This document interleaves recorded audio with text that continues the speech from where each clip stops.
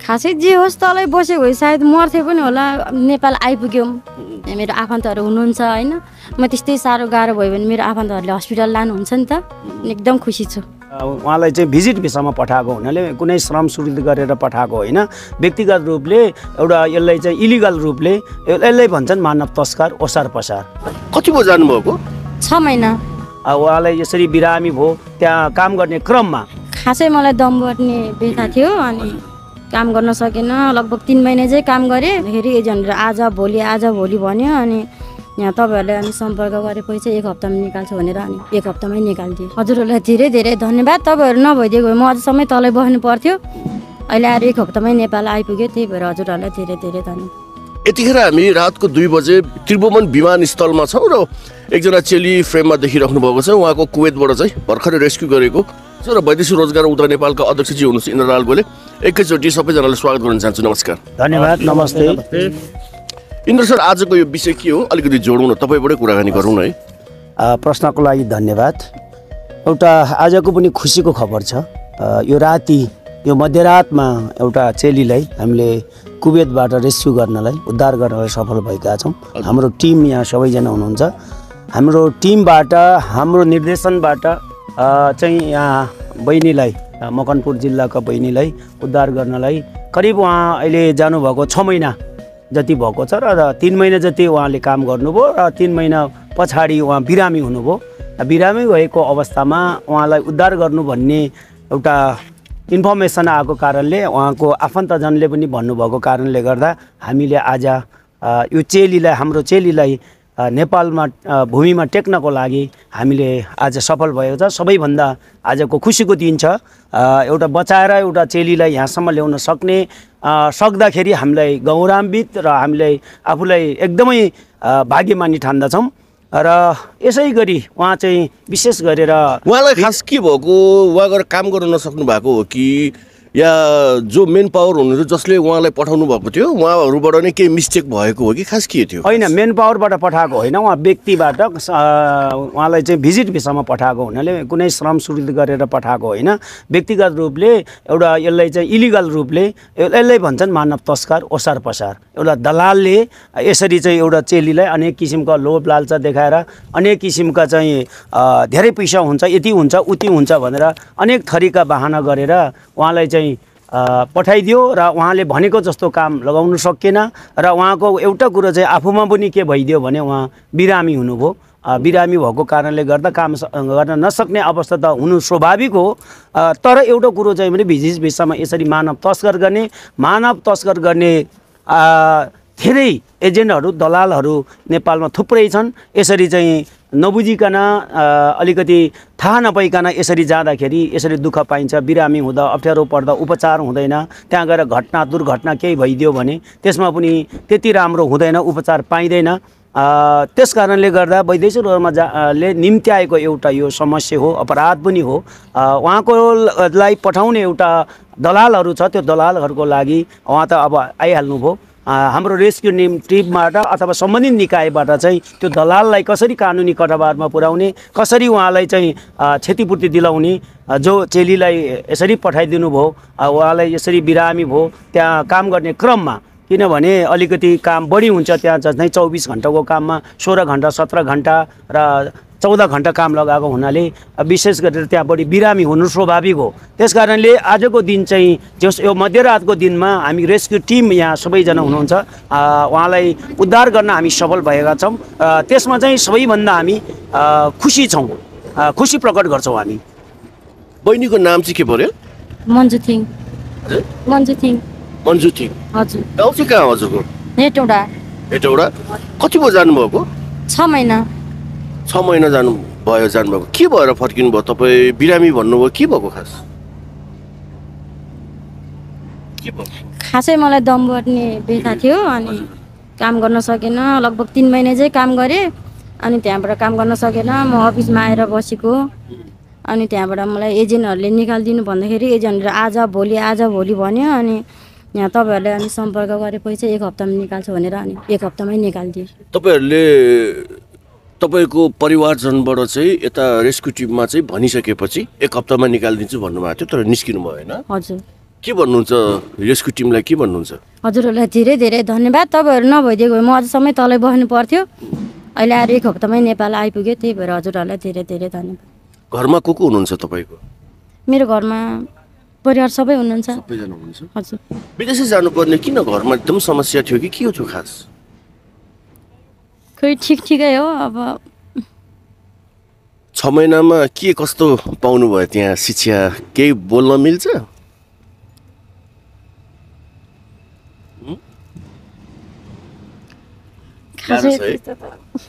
ल ठिक छ म धेरै कुराकानी गर्न चाहिनँ होइन अब तपाईँ त विवाहित हो क्या होइन श्रीमान के गर्नुहुन्छ काम के गर्नुहुन्न त्यत्तिकै बसि नै राख्नु भएको छ अहिले हजुर गाउँमै हुनुहुन्छ विवाह भएको कति भयो? तपाईँ त हेर्दा सानो देखिनुहुन्छ त फेरि। उमेरले त डाँडो काटिसक्नु भएछ। दस एघार वर्ष भयो होला। विवाह गरेको? हजुर। ए। अनि तपाईँ छ नि सुन्नु न भिजिट भिसामा जानुभएको रहेछ। भिजिट भिसामा त्यसरी विदेश जानु हुँदैन भनेर कसैले भनेन? भनेन है। अब तपाईँले के भन्नुहुन्छ?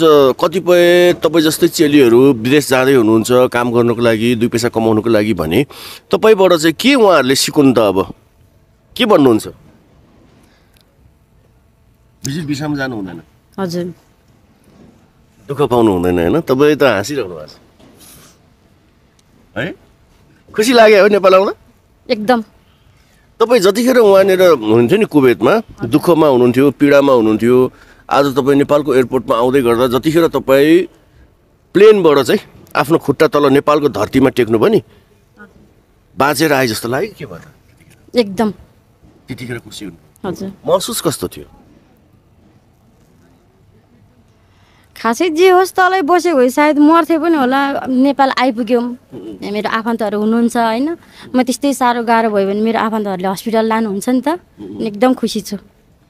उहाँ कतारमा चाहिँ आफन्तजन पनि हुनुहुन्थ्यो? कता कतार भनेर चाहिँ के अरे? कुवेतमा आफन्तजन पनि हुनुहुन्थ्यो। इन्द्र सर जस्तो बहिनी त हाँसी नै राख्नु भएको छ होइन जहाँसम्म लाग्छ उहाँको पीडा सायद देखिँदैन। के हो खास? उहाँले कहिले चाहिँ तपाईँहरूलाई खबर गर्नु भएको थियो र तपाईँहरूले कसरी चाहिँ उहाँहरूलाई चाहिँ रेस्क्यु गरेर यहाँसम्म ल्याउन सफल हुनुभएको थियो? होइन उहाँको आफन्तजनले उहाँ बिरामी भएको अवस्थामा उहाँलाई निकालिदिनु भन्यो निकालिदिनु पर्यो भनेर उहाँको करिब हामीलाई एक हप्ता जति भयो होला। उहाँलाई निकाल्नको लागि पहल गऱ्यौँ। पहिले त उहाँलाई पठाउने एजेन्टलाई हामीले खोज्यौँ। एजेन्ट हाम्रो सम्पर्कमा केही दिन आयो र उहाँलाई भेट अफिसमा बोलाएको तर आउनु भएन। र हामीले उहाँको भनाइ के थियो त्यतिखेर? उहाँको भनाइ त के हुनु के हुनु? अब पठायो अनि भिचिस भिटामा यसरी किन पठाउनु भएको? तपाईँले पठाउनु हुँदैन। यो त मानव तस्कर हो ओसार पसार हो। तपाईँ के गर्नु भएको यसरी एउटा चेली गाउँले चेलीलाई यसरी दुःख दिएको छ। के गर्नु भएको भनेर उहाँसँग संवाद भयो पटक पटक संवाद गऱ्यौँ हामीले। संवाद गर्दाखेरि उहाँले चाहिँ एकदम उहाँ चाहिँ आत्तिएर अ, हो मैले गल्ती गरेछु अब के गर्ने अब कसरी निकाल्ने भन्ने कुरामै हामीले सल्लाह गऱ्यौँ। सल्लाह गर्दाखेरि करिब उहाँ सम्पर्क नआए पश्चात हामीले आफ्नै किसिमले कुवेत स्थित हाम्रो प्रतिनिधि र हाम्रो सामाजिक सञ्जालमा बसेका त्यहाँका साथीहरू केही प्रतिनिधि केही सङ्घ संस्थाका साथीहरूसँग कोअर्डिनेसन गरेर उहाँको अफिसका मान्छेहरूसँग कुरा गरेर एक हप्तैभित्रमा उहाँलाई नेपाल यहाँ ल्याउन हामी सफल भएका छौँ। एक हप्ताभित्र भन्नुभयो बहिनीले पनि। सुरुमा जतिखेर तपाईँलाई उहाँको बारेमा उहाँको आफन्तजनबाट खबर भएको थियो कि उहाँबाट नि स्वयं फेसबुकको थ्रुबाट सामाजिक आफन्तजनबाट खबर भएर हामीलाई निवेदन पनि प्राप्त भएको थियो। ए। आफन्तजनहरूले यसरी निकालिदिनु पर्यो बिरामी भयो काम गर्न सकिएन तिन महिना काम अ- अलिकति उहाँको स्वास्थ्य पनि अलि दमको भनेपछि अलि दमको व्यथामा काम गर्न अलिकति कडा काम भयो भने निश्चित रूपमा काम गर्न सक्दैन। यो सत्य हो। अब दमको व्यथा अलि त्यो निको पुरा निको हुने व्यथा होइन यो। औषधि खाने हो त्यसलाई अलिकति कम गराउने र अलिकति रोक्ने मात्रै काम हो। अब यस्तो हुँदो रहेछ अब बहिनीले कति लगानी गरेर जानुभएको? पैसा तिरेन होला। तिरेन। पैसा तिर्दैन कुवेतमा पैसा तिर्दैन। एकजना मान्छे पठाएको बापत एजेन्टहरूलाई दलालहरूलाई चाहिँ बरु एक डेढ लाख रुपियाँ पैसा आउँछ। त्यहाँबाट भनेपछि त्यहाँबाट उहाँहरूले चाहिँ पैसा मान्छे त्यसरी पठाए बापत चाहिँ उहाँलाई उल्टो पैसा आउँछ। उल्टो पैसा आउँछ। कमिसनको लागि नत्र के को लागि पठाउँछ त? उनीहरूले भनेको यो साँच्चै नै भनेको भिजिट भिसामा पठाएको भनेको त घुम्न जाने हो आइस आराम गर्ने हो। आनन्द गर्ने हो घुमेर आउने हो त्यसमा विषय फेरि एउटा कुरो पनि भिजिट भिसामा जो अहिलेको अवस्थामा अहिलेको कानुनमा भिजिट भिसामा पठाइसकेपछि वर्किङ भिसा लाग्दैन। कुनै पनि देशमा लाग्दैन। अहिले दुबईबाट भट्टाभट भिजिट भिसामा गएको यहाँबाट सेटिङ मिलाएर यहाँबाट पैसा खुवाएर भ्रष्टाचार गरेर पठाएको कर्मचारीलाई फटाफट त्यो मान्छेहरू फिर्ता आएको छ। अहिले दुबईबाट चाहिँ भनेपछि तपाईँले जस्तो कोही व्यक्ति यदि कुनै पनि देशमा भिजिट भिसामा गइसकेपछि पछि वर्किङ भिसा लाग्दैन? लाग बिल्कुल लाग्दैन। यो चाहिँ सबैले यो तपाईँको। मिडियाबाट योबाट म सन्देश दिन चाहन्छु। भर्खर कानुन बनेको छ। त्यो कानुनले के भन्छ? भिजिट भिसामा गएको मान्छेलाई वर्किङ भिसा हुँदै हुँदैन। त्यही भनेर श्रम स्वीकृत गरेर अब जस्तो जतिजना जानुहुन्छ नि बाहिर जाँदै गर्दाखेरि उहाँहरूले चनाको र विशेष गरेर के चाहिँ विशेष ध्यान दिनुपर्ने रहेछ? एउटा कुरो चाहिँ हाम्रो उहाँ जस्तो सोझा साझा गाउँमा बस्ने एउटा केटा होस् अथवा केटी होस् युवा होस् अथवा युवती होस्। तर भिजिट भिसा भनेको के उहाँलाई थाहा हुँदैन। दलालले एजेन्टले फटाहरूले के भन्छ भने अनेक किसिमको यति पैसा हुन्छ उति पैसा हुन्छ। अब त अझ उसको त कुबेरको त केडी हुन्छ। तर एक रुपियाँ बराबरको साढे चार सय रुपियाँ जति पैसा हुन्छ अनि लोभ लालच देखाउँछ। तिमी के हेरेर दुःख गरेर बस्छौ? के हेरेर बस्छौ? कसैले त श्रीमानलाई थाहा नभइकन श्रीमतीलाई चाहिँ पठाइसकेको हुन्छ। दलालहरूले पासपोर्ट पनि आफै बनाइदिन्छ। दुई चार पैसा खर्च आफूले पनि दिन्छ। किनभने त्यहाँबाट एकजना केटी पठाएकोबाट उनीहरूलाई डेढ लाख दुई लाख पैसा आउँछ।